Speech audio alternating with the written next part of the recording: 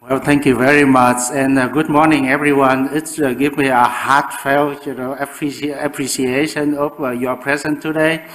Uh, which in the next, you know, 15 minutes or you know, I just would like to share with you uh, stories about osteoporosis, uh, and I'm sure that you know most of you, you know, when you think about osteoporosis, you tend to think in terms of a bone fracture. But you know, I, I just would like you know, this morning I just would like to uh, I would like you, you know, to, to, to, to take home a key message that is osteoporosis is not just a bone fracture. It's actually you know more important and more serious than that. But I thought, you know, before doing that, you know, I would like to share with you, you know, my journeys, my personal journeys uh, to osteoporosis research because uh, it may, you know, explain to you some of my uh, next slides. Uh, I came uh, to Australia approximately about 40 years ago you know, in that uh, leaking boat from Vietnam. And you know, after about uh, three months or so of uh, learning English, uh, because my English at the time was a very sonky, still is, and I got a job at St. Vincent Hospital as a kitchen hand across the road, just across the road. And so I, I work during daytime and I study nighttime in Macquarie University, if you look at that ugly building, it's, it's much better now, but in my time it was like that. And in 1990, you know, I moved uh, to uh, Sydney University to work on a very theoretical problem. We call it stochastic process. It's means random process essentially. Um, and then, you know, in one day, uh, one day, you know, I, I scanned the newspaper, the good old Sydney Morning Herald. I found an advertisement uh, for an epidemiologist uh, from the Garvan Institute. And the contact person was uh, Dr. John Eisman. Anyway, to make the long story short, you know, I went for the interview, and Dr. Eisman told me, he said, well, you know, working on bone is much more interesting than those uh, stochastic process, and we are having a big project uh, called the Dubbo osteoporosis epidemiology study. So I would like you to join the study, you know, to work with us. Um, you know, he, he was a great, you know, negotiator, so he persuaded me, you know, to join the Garvan Institute. And then, you know, I work at the Garvan Institute since then, uh, in that particular building there, 1991, um, for approximately uh, uh, 30 years now. And I can tell you that, you know, I have enjoyed my time here every single minute. Every day, every minute is uh, uh, something new to me. And something new to me is concerning about something we call it the phenomenon of aging. I'm sure that most of you uh, realize of that uh, particular works uh, from Klimt uh, in the old days, I think in the 1930s, uh, uh, it depicts the three ages of women. And you can see from the teenagers and the adults and then into the older age. And our bone also progress, you know, in that three phase. So we start off with the teenagers, we acquire a lot of bone, and then we have a, a period of stabilization, and then after that it will decline, actually it declines, you know, start from the age of 40 or so. And this particular decline is associated with a process, we call it the aging. And as you can see there in Australia right now, you know, we have about 15% uh, of the population is 65 years and older. And that number translated into something like approximately 4 million people. Because, you know, we have a very low uh, fertility rate, and yet, you know, we have an increase in the number of elderly population. So that means the dependency, you know, population people, they like the word dependency, increase over time, which Im impose a rather a burden to the general population and the community as a general, uh, uh, as, as, a whole. I said to you earlier that there's a three age of women, uh, and there's a three age of bone. Now, if we think about that, you know, you will find that by the age of 20, we uh, accumulate or acquire about 90% of our bone mass. But then after menopause, that means after the age of 50, 48 or so, you know, some of you will lose about 15% of peak bone mass. Some of you may lose up to 20%, particularly during the first five years postmenopausal. But by the age of 70, you'll find that approximately 35 to 50% of bone mass, you know, has lost, you know, compared with the age of 20. So that is uh, the third phase of uh, bone mass acquisition then it's not just bone mass, but also a muscle. So you can see that by the age of 80, uh, you lose almost 40% of the muscle mass. So the loss of bone mass and muscle mass you know, together contribute to a phenomenon, you know, I call it bone fragility. I know that you know people call it osteoporosis, but I prefer the bone fragility because it seems to depict you know better, it capture better the aging phenomenon than uh, the word osteoporosis. So if you look at the bone in your microscope, you see in the upper panel, the photo upper panel, that, that is uh, the healthy bone. It's very nice structures, you know, on the matrix and the connectivity of the minerals seem to be, you know, connect quite well. But by the age of 60, which is uh, shown in the lower panel uh, photo, you see that on the connectivity was a lot. And that's why, you know, we uh, have a tendency of uh, increasing uh, the risk of a fracture, which I will to tell you a little bit. So bone fragility or osteoporosis is fairly common in the general community. You know, these uh, three picture photos you know, I took uh, in the shopping last week. I didn't like I didn't like shopping because during weekend I have a lot of other things to do. but in that particular day I have to go shopping, and you know, within five minutes, you know, I could identify you know three women, three ladies with a sign of osteoporosis. And you know, I look at these uh, three women and say, wow, it seems to be very comparable with the statistics that, you know, that I have been telling uh, my people over the years. That is, if you take about 10 people in, uh, 10 women in this audience, uh, and if I uh, send you for a bone density measurement, then I would expect that three of you will have osteoporosis.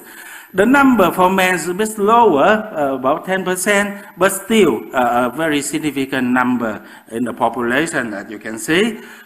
Now, it's not osteoporosis that is the major concern. It's about bone fracture.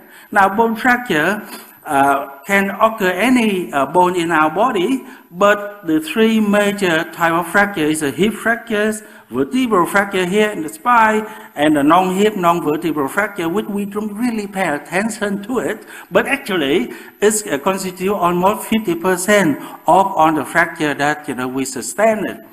Now, if you talk about fractures, you know, people say, well, you know, it's a bone fracture. If I have a fracture, I go to the surgeon, you know, they will fix it up for me. There's no problem about that. Uh, I will have a more problem to worry about, for example, breast cancer, right? A lot of you worry about breast cancer. But, you know, I'm going to tell you that the lifetime risk of breast cancer, which is about 13% these days, which is almost the same with the lifetime risk of hip fracture, also about 12%. In other words, if you are now age of 50 and if you expect to live until say the age of 84 or 90, then 12 out of 100 women will have a hip fracture. And that number is uh, almost the same with the number or the risk of uh, uh, breast cancer. But it's not just a fracture. It is uh, the consequence of fracture that is something we have to be concerned about any existing fracture is a very good signal for a refracture. Always like that. If you have a fracture now, you know, the risk of a neck fracture will increase twofold, threefold, depending on what is the initial fracture type. But it also occurs in a very shorter time. And this is uh, the data that you know, I have uh, accumulated from the Dubbo study that I mentioned to you earlier.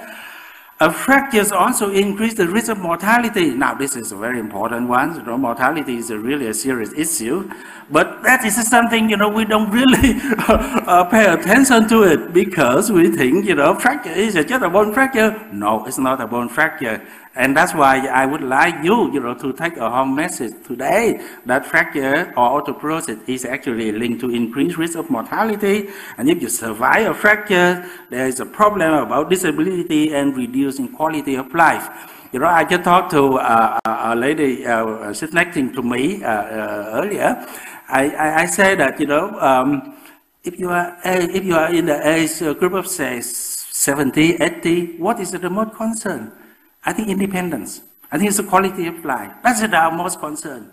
Because uh, when I asked my grandma, uh, uh, uh, grandmother, I said, you know, what, what, what do you worry about? He said, oh, I worry about independence. I don't want to, I, I don't want to be dependent on somebody else. You know, I want to be independent. So independence and quality of life to me is a very important one. Now, I also would like to tell you something. It's a very interesting thing too, uh, based on our research study. Most people, they think of fractures or disease, they tend to think of it as a single entity. I have fractures, I have osteoporosis, I go to a doctor, they fix me, that's done.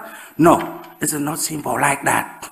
Our data actually show that if a person have osteoporosis and that person is more likely to have two other conditions, two other chronic conditions.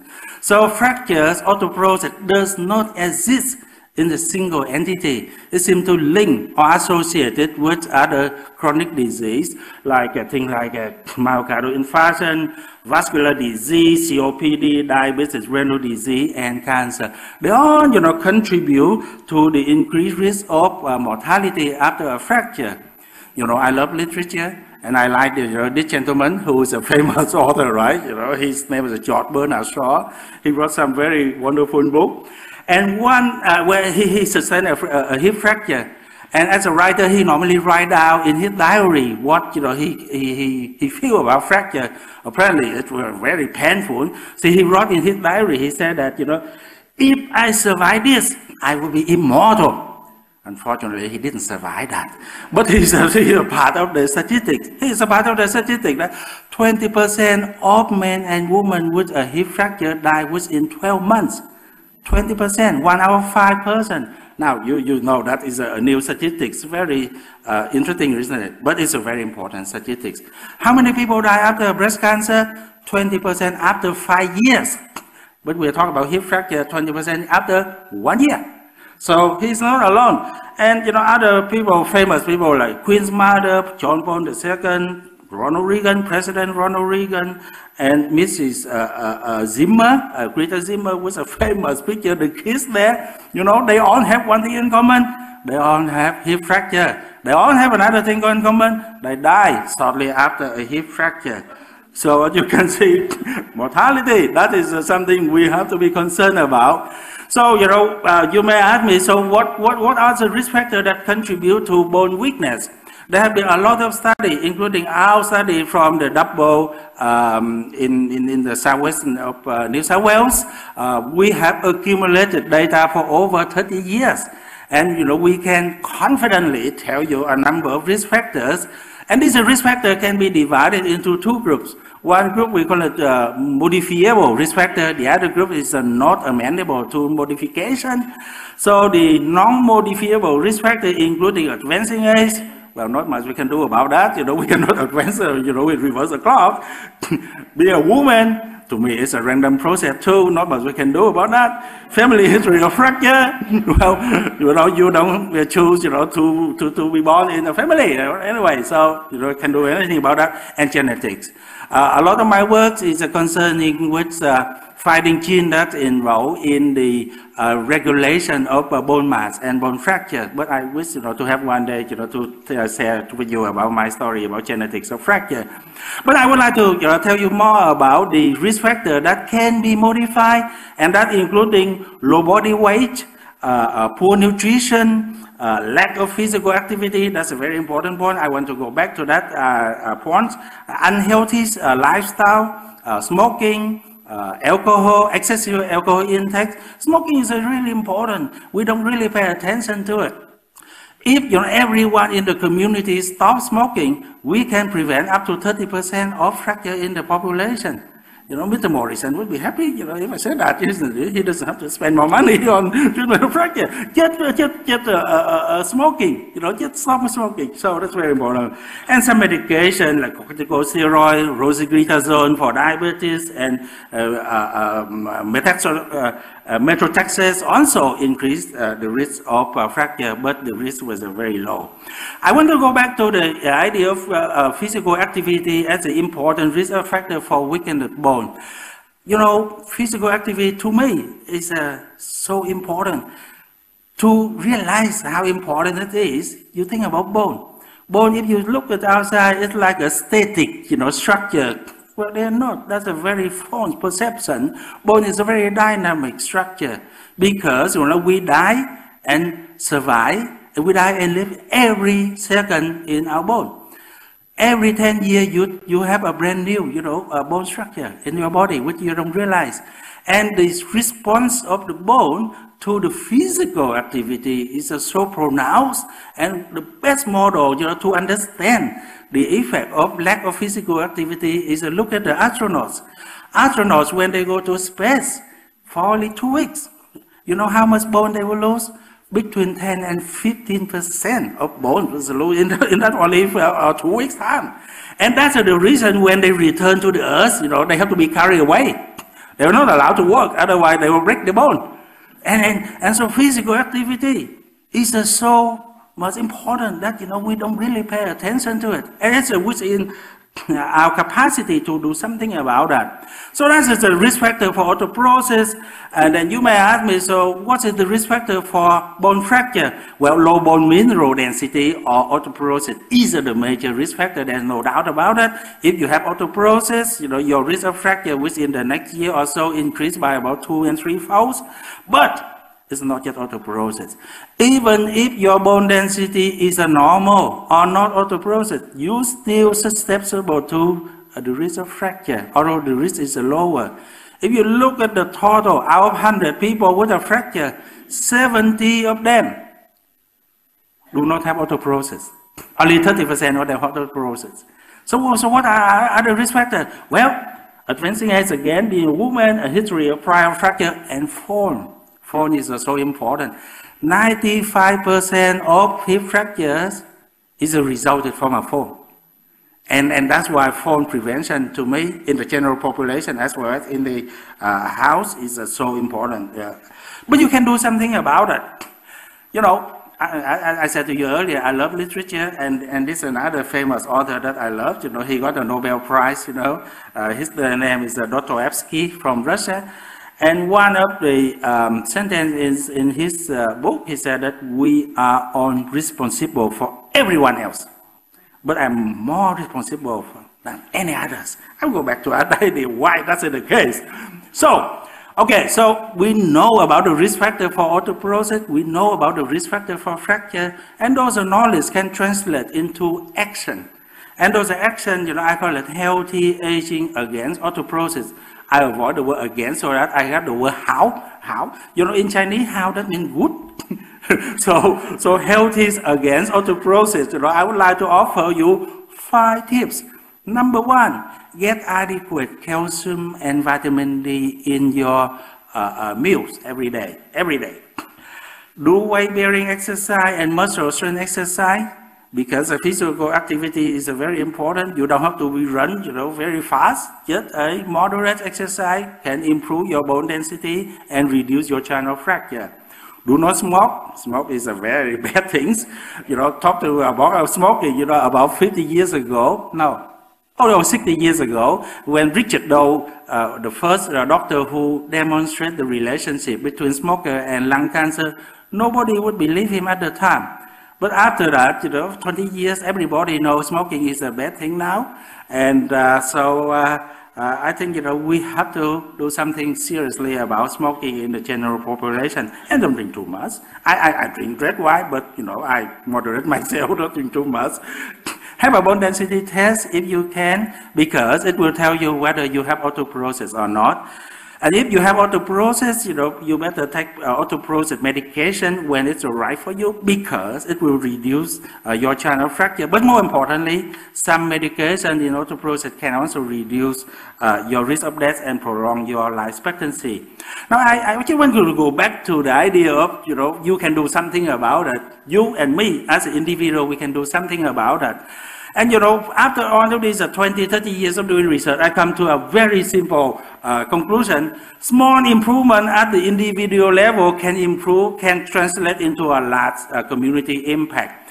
If each of you, me too, can improve our bone density only 3%, only 3% by physical activity, nutrition, and stop smoking and so on, only 3%. Doesn't mean much to you anyway. But with that 3% improvement, you can translate into about 50% reduction of osteoporosis and fracture in the general population. Don't worry about those uh, numbers, you know, that is only to show you that, you know, I've done some work about the statistics, right? so, so, now, you know, you can evaluate, you can self-assess, you know, your bone health at home. So we have created a website called knowyourbone.com org.au. You can do it right now. And you can go to a website with all the tips about bone prevent, bone fracture prevention. And more importantly, you can use the Garvan fracture risk calculator. You just simply key in your information and it will tell you the risk of fracture within the next, you know, five or 10 years. And uh, with that, you know, I again, you know, thank you very much for your uh, presence today. You know, you you really, you know, provide me with a great motivation for to do, you know, thing in the next 20 years or so if I still survive, and I think I will survive in the 20 years. Thank you very much again.